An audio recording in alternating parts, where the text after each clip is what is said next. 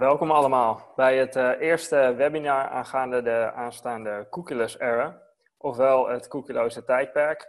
Mijn naam is Kevin Donker, uh, Product Lead Programmatic bij OMD Nederland uh, en daarin verantwoordelijk voor het onboorden van nieuwe tech en het optimaliseren van allerlei processen rondom programmatic buying.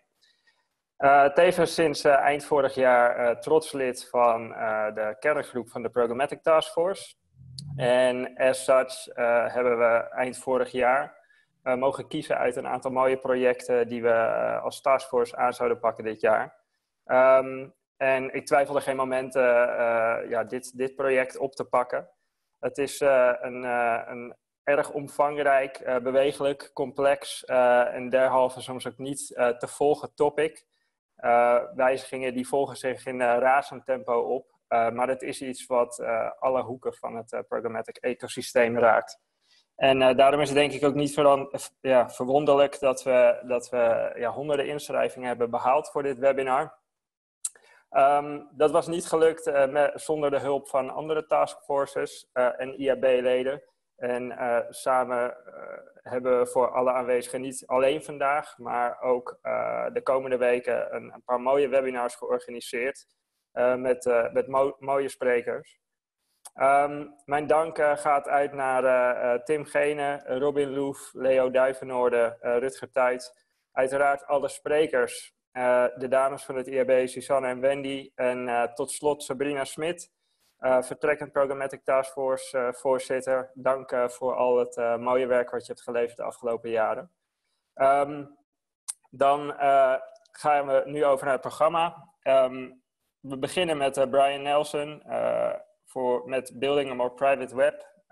Vervolgens gaan we over naar Dennis Boekheim, president van het IAB Tech Lab, om af te sluiten met een oude rot in het vak, namelijk Wouter Hulst, founder van 201 Connected Media, om zijn visie op het onderwerp te bespreken.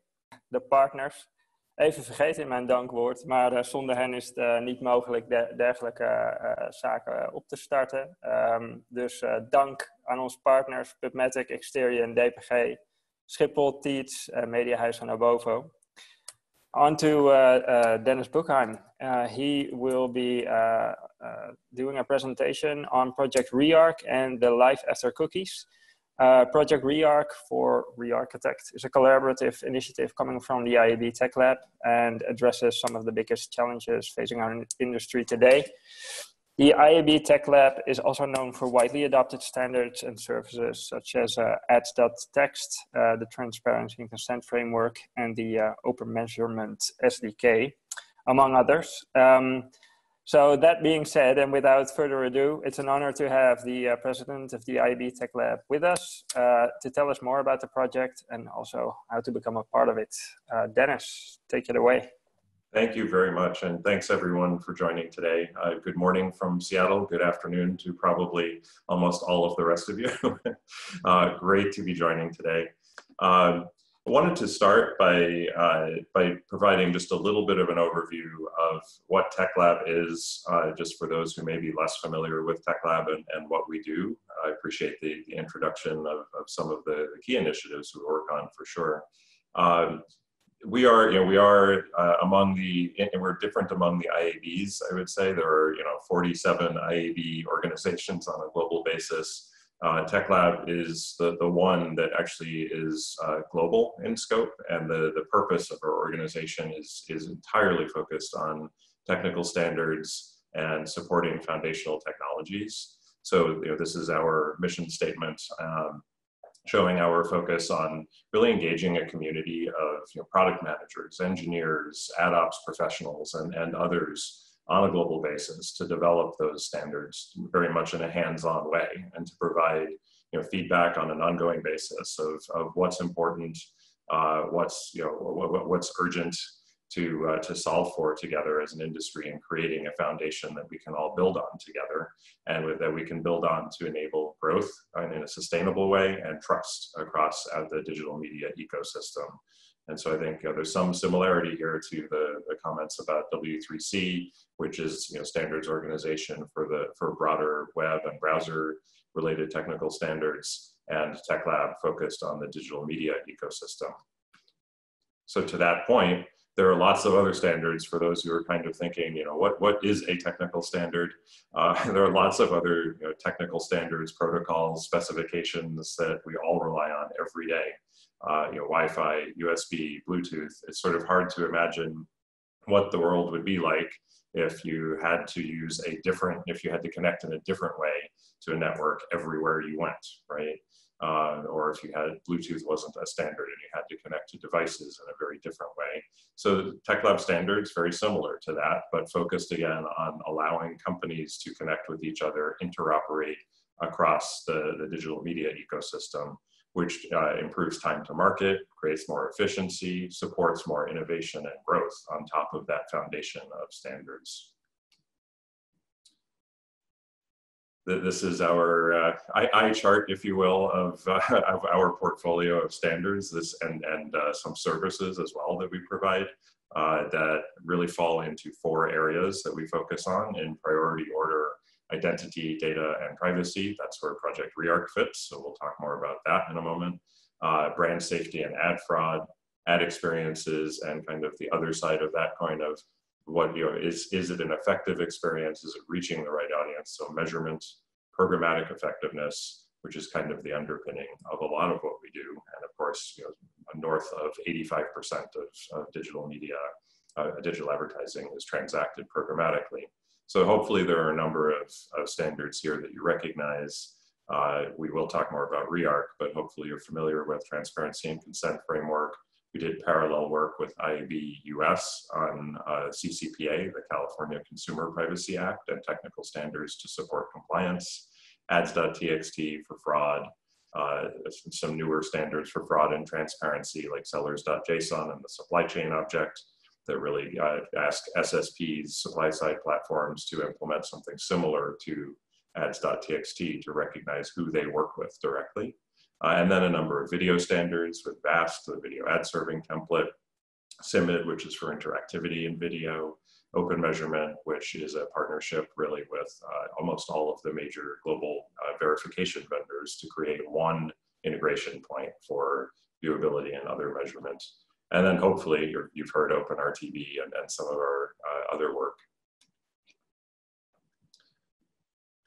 So very briefly, the way we work with, uh, with other IABs is you know, we focus on the technical standards as kind of an underpinning foundation again, and we work with the IABs to, uh, to promote uh, the, those standards in some sense through the market development work and the research and education and public policy work uh, the guidelines, the events, uh, you know, now mostly mostly virtual events that uh, the IABs do, like IAB Netherlands and others in their local markets. We focus again on the on the protocols, the software, and compliance programs significantly.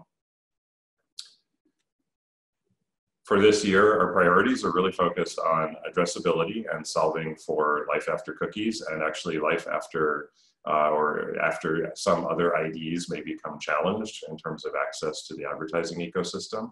Technical solutions for privacy, such as the, the transparency and consent framework and the, and, uh, the CCPA work I mentioned.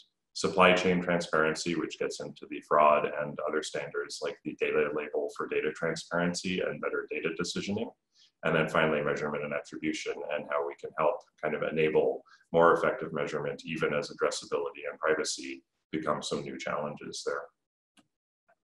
So you see Project REARC there at the top. So with no further ado, uh, wanted to give a, a, brief overview of our perspective of how we got here into the situation we're in and what some of the next steps are together that we can take collaboratively in the industry.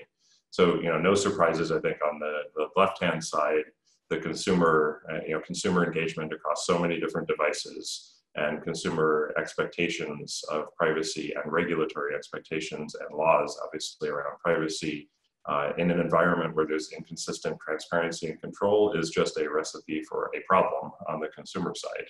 And then on, on the other side, the sort of industry and, and executing all of the different use cases for advertising, you know, in, in an attempt to innovate and an attempt to deliver relevant advertising and measure ads effectively pretty obviously we've created you know billions of trackers essentially uh, which is not necessarily, and we would argue is not the right thing for consumers because it's next to impossible to control and understand.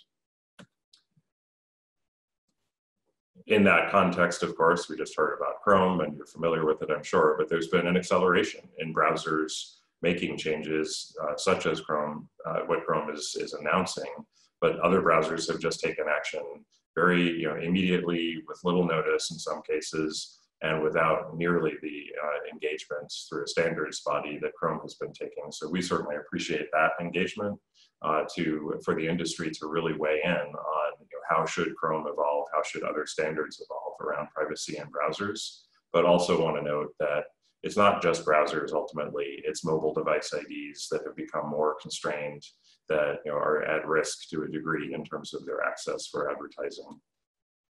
So the use cases, if we think about you know, very broadly, all of the IDs and the identifiers for consumers and what they enable, you know, they're, they're really all of the use cases in advertising that are enabled by, uh, by being able to at least anonymously identify a consumer from measurement to reach and frequency to targeting and remarketing as part of that uh, to you know, messaging and of course privacy becomes a critical control element and even in itself is, is challenged. Executing privacy controls is challenged as identifiers uh, disappear.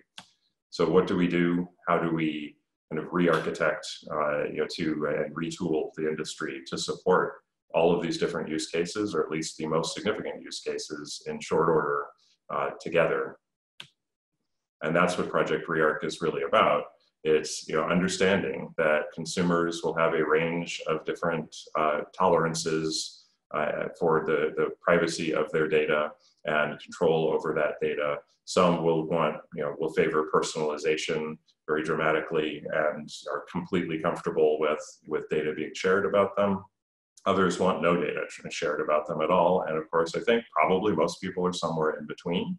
And Project ReArc is very much about recognizing that there's a balance there and that we need to help kind of harmonize privacy and personalization and allow consumers more control in that environment that we need to we need to do that to fuel you know, the open web on an ongoing basis that you know choice and control for privacy is critical. I think we people in Europe in particularly in particular acknowledge that, but it's it's certainly spread worldwide, and the browsers, of course, have, have acted accordingly. We think there'll be there'll be a need to have more explicit relationships that consumers can control between first parties such as publishers and brands, and third parties, the vendors and others that uh, that many of those publishers and brands depend upon to execute advertising and earn revenue that allows them obviously to provide their content and services.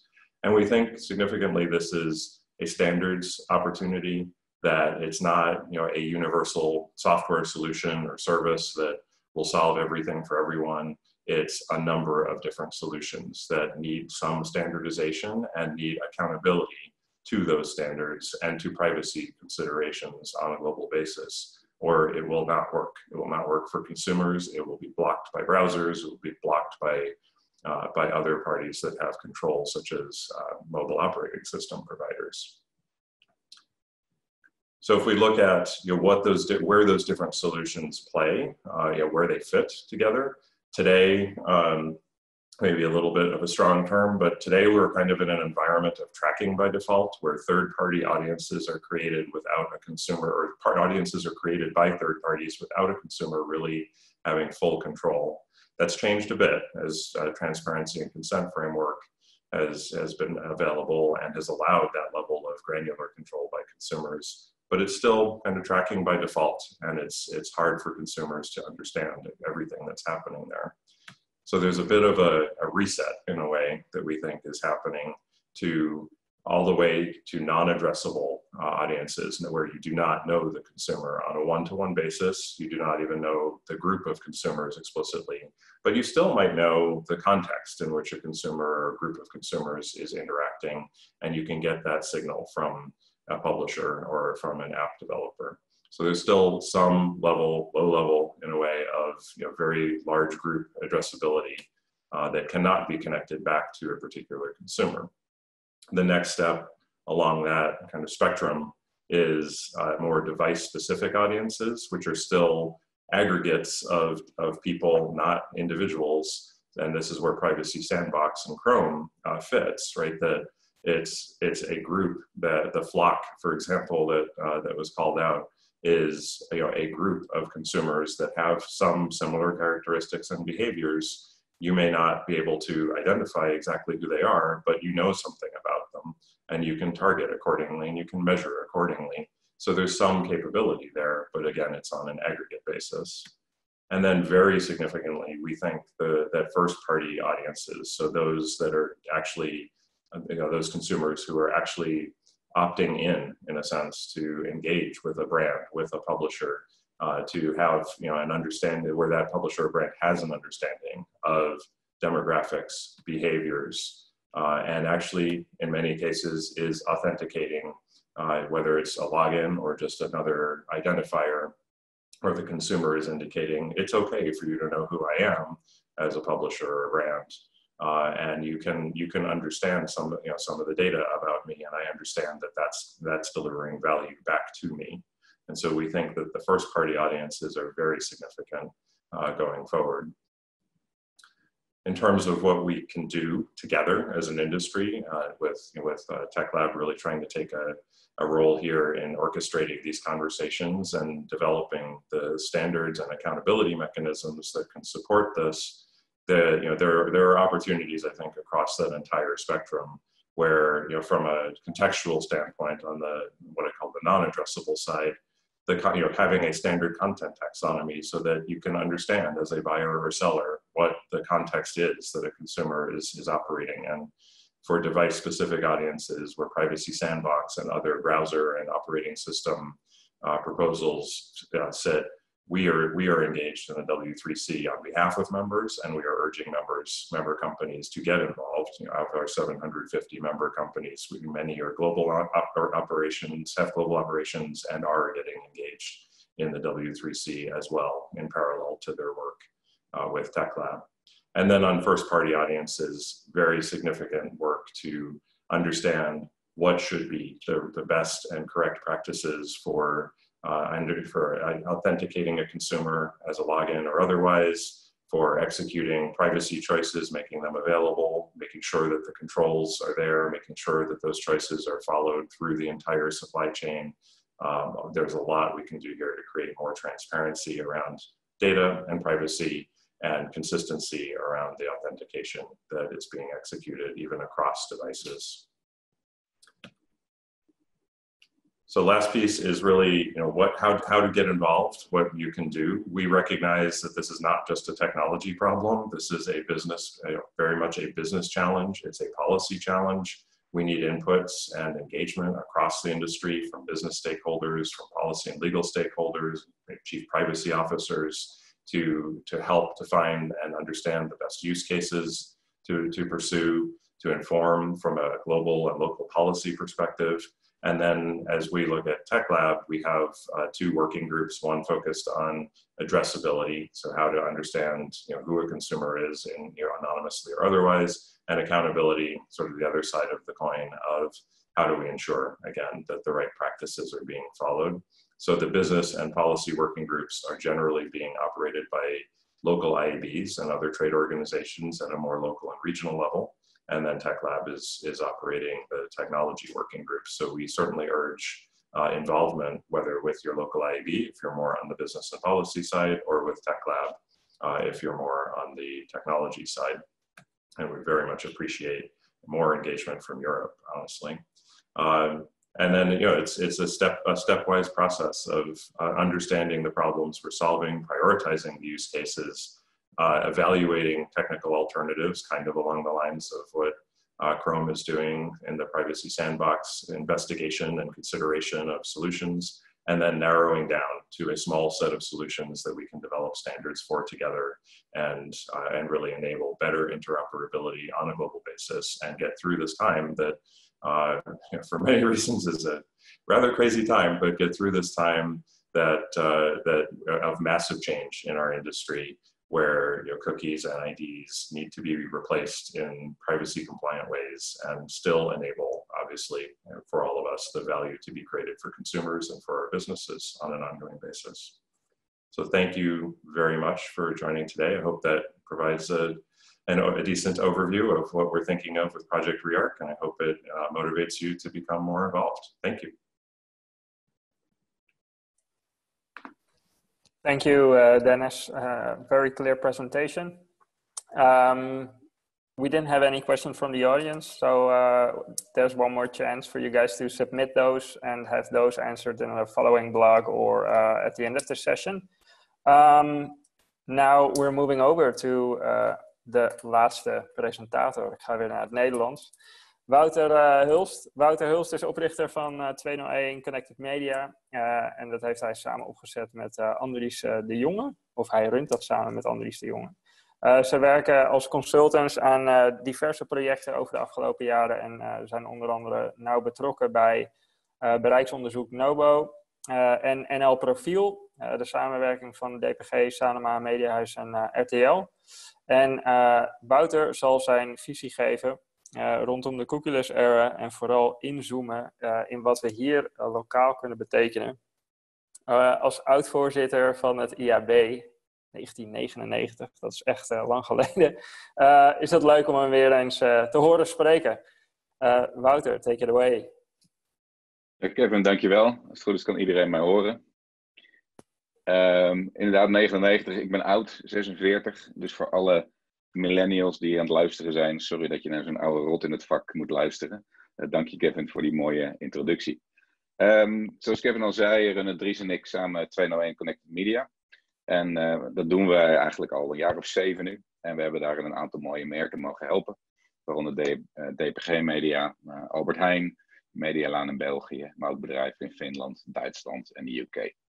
Maar daar gaan we het vandaag gelukkig niet over hebben. We gaan het hebben over uh, hoe wij kijken naar de uh, cookieless era en wat er straks mee gebeurt. En vooral dan naar een lokaal initiatief. Wat kunnen we uh, lokaal doen daaraan, zodat we niet hoeven te wachten op het goede werk wat er vanuit IEB, vanuit Google, vanuit allerlei bedrijven wordt gedaan. Op dit moment zijn die Amerikanen natuurlijk briljant in staat om de pijl precies in het bord te schieten. Ze zijn briljant in staat om eigenlijk de gebruiker zo goed mogelijk te raken met een boodschap die voor hem of haar bestemd is. Um, en dat doen we goed. Dat doen ze goed. En dat doen we heel goed op desktop. In app doen we dat wat minder. Maar we proberen daar alle data te gebruiken om uiteindelijk onze marketingboodschap aan die gebruiker uh, op te dringen. Het woord opdringen is ook wel een beetje op zijn plaats, omdat het ook niet altijd ethisch is. We hebben in online wel een beetje de neiging om hetgene wat er kan, ook daadwerkelijk te doen. Dus het de onderdeel natuurlijk waarom die cookies minder worden gebruikt, is ook omdat we zelf niet altijd heel helder hebben waar de lijntjes van de ethiek liggen. We zijn namelijk met z'n allen, en dat snappen we allemaal, heel erg op zoek naar die actie. We willen dat marketing uh, winst oplevert. We willen dat een euro erin meer dan een euro in omzet oplevert. Dat is natuurlijk heel mooi, gebeurt natuurlijk lang niet altijd. En daarmee gaan we soms voorbij aan het idee dat hele mooie merken natuurlijk veel minder hoeven te investeren om performance te realiseren dan minder mooie merken. Maar we zijn continu bezig natuurlijk om te kijken hoe we die performance kunnen optimaliseren. Echter, we als Nederlandse bedrijven zijn daar matig in. Twee bedrijven, eigenlijk vier, zijn er natuurlijk aanzienlijk beter in. En die hebben die race al lang gewonnen. Natuurlijk Google, Facebook, maar ook moeten we een Franstalige Criteo niet vergeten. En natuurlijk Amazon, die er met alle kracht en mogelijkheden nu aankomt. Deze vier hebben denk ik optimaal gebruik weten te maken van die cookies en hebben daar fantastische businessmodellen op gebouwd. Een beetje jaloers ben ik natuurlijk daar wel op, maar dat is wel hetgene waar we mee te maken hebben. Vaak kijken we naar GAVA, maar het is natuurlijk ook het Criteo wat daar een hele belangrijke rol heeft gespeeld. Zeker ook op het moment dat de wetgeving langzamerhand uh, uh, aan bod kwam. Waarbij natuurlijk de jurkjes voor Zalando op dat moment heel erg uh, tot de verbeelding spraken. Maar wat gebeurt er nou met die cookies? We horen al jarenlang dat, we ze niet, dat we ze straks niet meer gaan gebruiken. Alleen we gebruiken ze nog steeds. We roepen al jaren dat we afhankelijk zijn van Google en Facebook en anderen. Maar we doen het nog steeds. Want we zijn er natuurlijk als een soort druk aan verslaafd.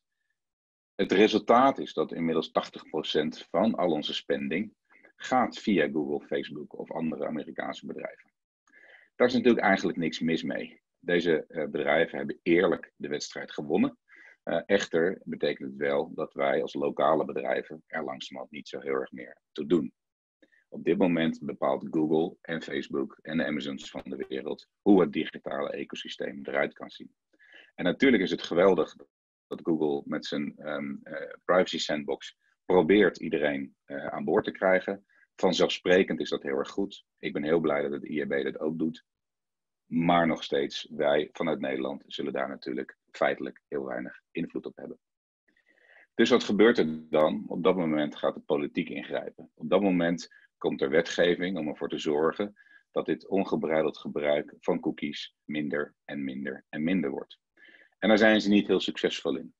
Zoals een aantal van jullie nog weten, begon het uiteindelijk met de cookie uh, law.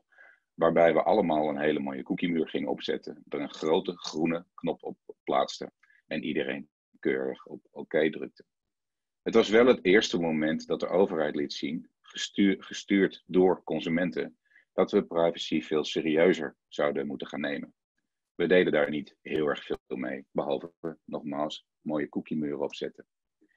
Vervolgens kwam GDPR. En uh, op dat moment dachten we allemaal dat de wereld verging. Nou, ook dat uh, viel erg mee. Het was een soort millennium bug. Kevin, dat is ook uit het jaar 2000, dus dat is best wel oud. Maar ook GDPR heeft feitelijk alleen de cookiemuren groter gemaakt. Heeft er wel voor gezorgd dat we duidelijker aan consumenten uitleggen wat we doen. Maar feitelijk zijn we nog steeds druk bezig met het verzamelen van cookies. En eigenlijk heel erg bezig met het voorkomen dat ze weggaan. Kwamen de big guns. En dat was natuurlijk de, de privacy sandbox van Google. Eindelijk hadden we een datum. Het ging niet meer zo over, oh, het was niet meer de vraag of third-party cookies werden geblokkeerd. Hè, want Safari en Firefox doen het al lang. Maar wanneer? En ook Chrome heeft uiteindelijk gezegd, we gaan het blokkeren. Anders doen, we gaan met de industrie in gesprek. Dus dat denk ik dat heel goed is. Tegelijkertijd zullen natuurlijk ook Google een hele grote vinger in de pap hebben wat er uiteindelijk gaat gebeuren. Daarbij super blij ook met het IAB Transparency en Consent Framework, waarbij in ieder geval de basis wordt gelegd om lokaal ook afspraken te maken, om te kijken hoe we dit ook in Nederland gewoon goed kunnen regelen. Maar toch, eh, we blijven vissen in een rode oceaan. Waarbij we eigenlijk consequent aan het kijken zijn. Hoe kunnen we eigenlijk vasthouden aan hetgene we al die 15 tot 20 jaar gewend zijn?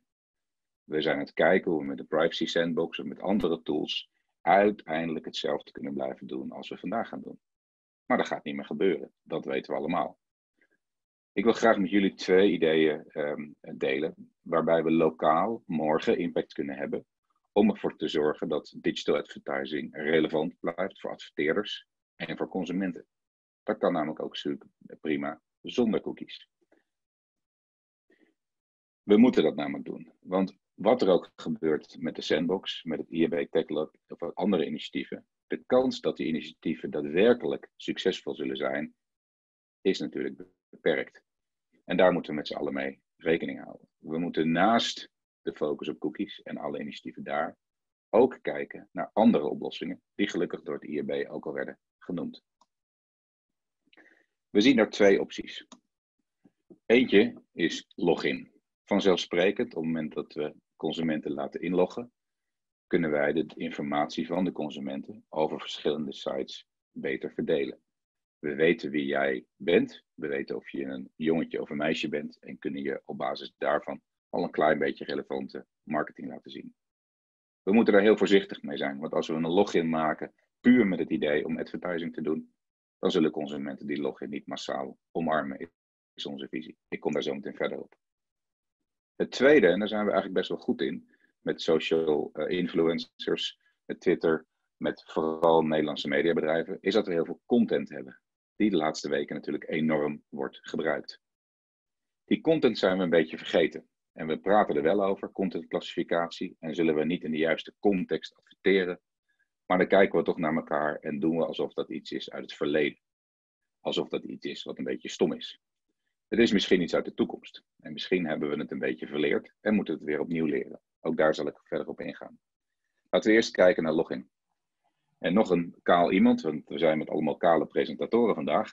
Slaven heeft natuurlijk een oproep gedaan aan de mediabedrijven om één registratiesysteem in Nederland voor online gebruikers te maken.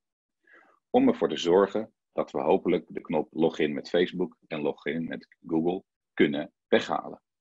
Zodat we, en de kleuren zijn bijna goed, rood, wit, blauw, dan zijn we er, maar zodat we Nederlanders een inlog kunnen geven aan, uh, op Nederlandse assets. En er zijn er een aantal van.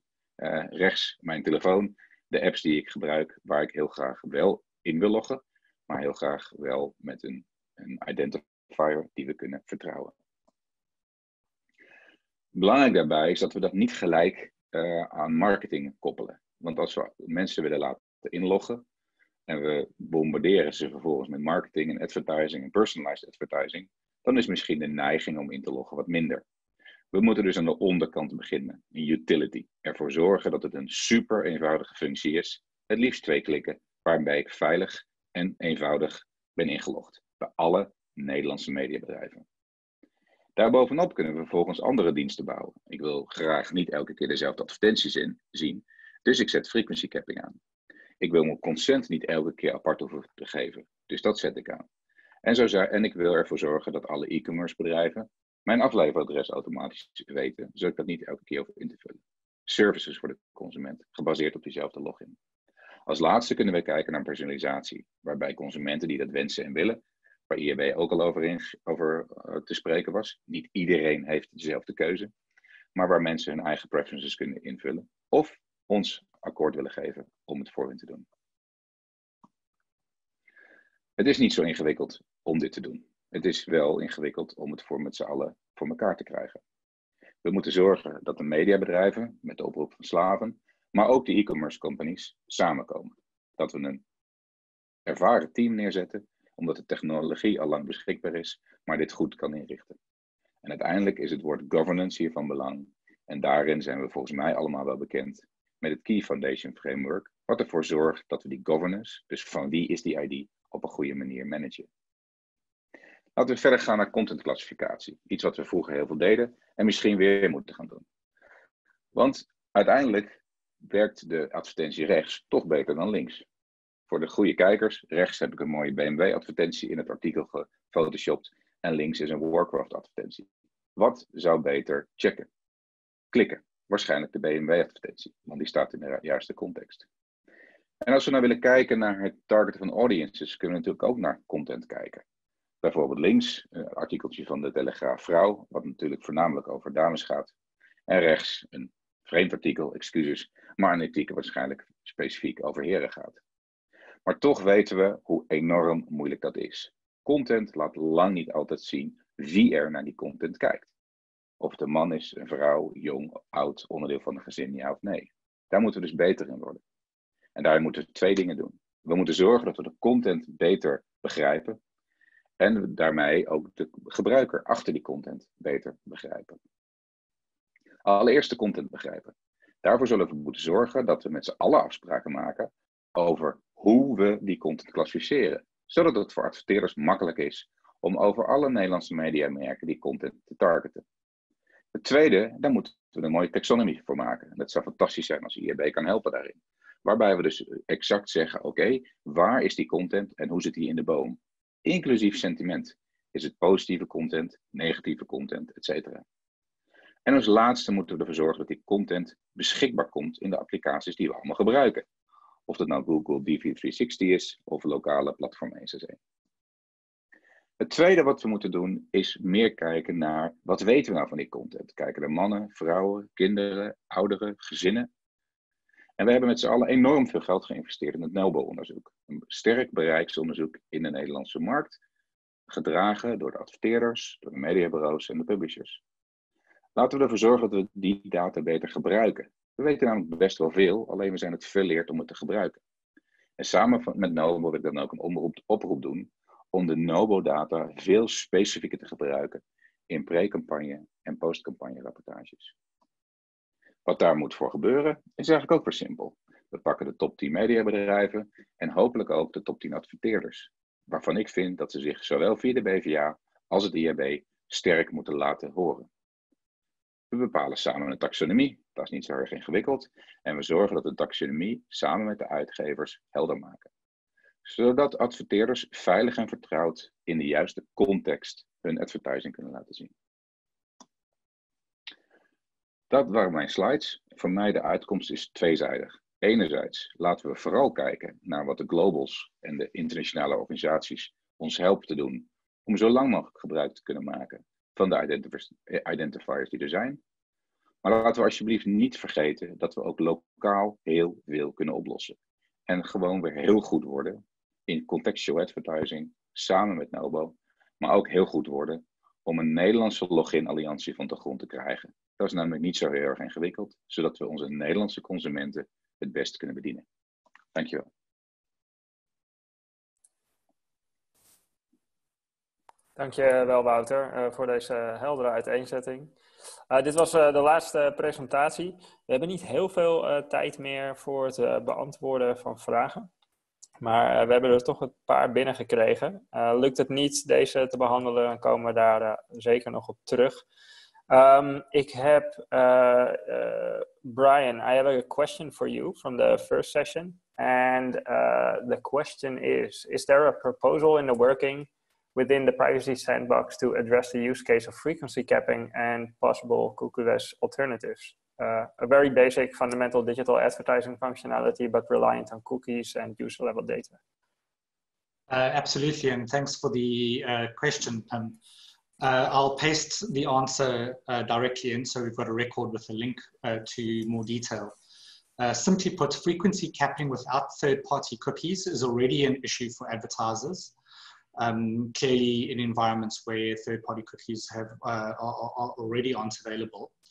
Uh, we published a set, a very detailed uh, description of our privacy-safe approach to managing ad frequency without uh, third-party cookies. And this uses um, machine learning models based on publishers' first-party data. Uh, in the privacy sandbox aggregate reporting API, the proposal has some examples of how that reporting API can be used to calibrate those machine learning models. Um, and I'll link to the uh, to, to, to, to more details about this for PIM. Um. All right, thank you. Um, the final question before uh, uh, Uh, om even vooruit te blikken, gaan we weer naar het Nederlands. Om even vooruit te blikken naar de, de webinar van volgende week. Uh, Wouter, um, we hebben een paar vragen binnengekregen. Um, ik zal er even eentje uitkiezen. Uh, wie zou volgens jou het voortouw moeten en of kunnen nemen voor een gezamenlijk login-initiatief vanuit de Nederlandse markt? De million dollar question. dat zou ik niet weten. Ik denk dat het vooral vanuit de business moet komen. En dan kijk ik vooral naar de Bond van Adverteerders. Dan kijk ik vooral naar de publisherorganisatie Phoenix. Dan kijk ik naar het IAB. Ehm, ik denk dat die organisaties het samen moeten doen. Voor mij heel belangrijk daarin is dat we het inderdaad niet alleen vanuit de uitgevers doen, maar ook vanuit de adverteerders doen. En beginnen met in-app. Dus als er één iemand op zou kunnen staan vanuit de adverteerders, bij een groot adverteerder, en iemand bij een publisher, nou, volgens mij heeft Slaven zich al indirect aangeboden, dan hebben we die kant hebben we al uh, compleet. Um, maar dat zullen we op die manier uh, moeten doen. Alright. Oké, ehm, nou dank jullie wel uh, allemaal voor jullie aanwezigheid. Um, alle sprekers, ook hartelijk dank voor jullie bijdrage. dat, ja, dan rest mij enkel nog even een korte vooruitblik te geven op de sessie van volgende week. jullie zien in jullie scherm al de, de sprekers. we zullen dan Bernard Tevreden, um, uh, horen spreken van Marktplaats. Travis Klinger van LiveRamp. En uh, Slava Mandic, uh, al meermaals voorbij gekomen in de laatste presentatie. Dus ik hoop jullie dan weer te zien. En um, dan wou ik het hierbij laten. hartelijk dank voor jullie aanwezigheid, jongens. En tot volgende week. Dag. Super. Kevin, bedankt voor het modereren. Joep.